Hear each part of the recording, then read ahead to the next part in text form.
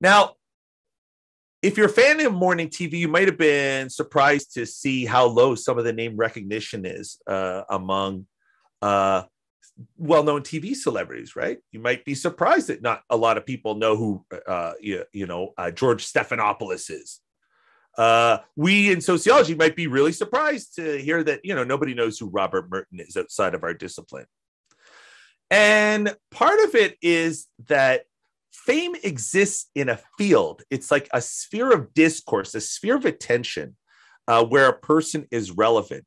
So fame exists where people pay attention to the area of discussion or action where the celebrity is relevant. And people who don't pay attention to that, eh, the celebrity might as well be anybody else. Their fame is not fungible, it doesn't have an impact.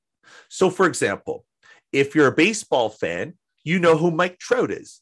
You might want Mike Trout to meet your child or grandchild. You might invite Mike Trout, you know, to speak to the community. But if you don't know who Mike Trout is, well, then Mike Trout might as well be Salman Khan or uh, Dilraba uh, Dilmurat, who are two far, far bigger stars who I'm guessing most of you have never heard of because they operate in a space that where your attention doesn't gravitate.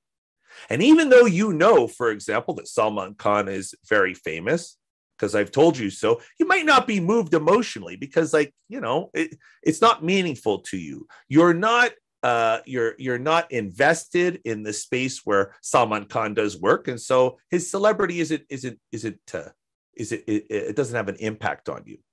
But where you do pay attention to the field, if you do know baseball, then you're more likely to know of Mike Trout, click on an ad, listen to his opinion, and all that. Um, all right.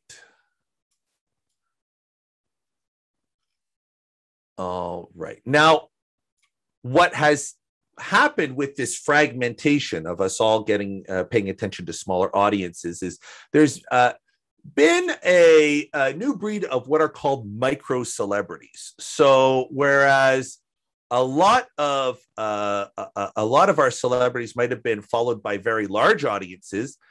A lot of people who are celebrities today are in the celebrity business. I'll explain what that is in a second. They often cater to small audiences in the tens of thousands, and and uh, like sociology is included in that. Our most famous people are playing to audiences of tens of thousands, and in that sense, they're micro celebrities, just like all the niche podcasters that Ryan and I have been uh, interviewing. Um, but still, there is something interesting in talking to these podcasters, and uh, there's something to be learned about it.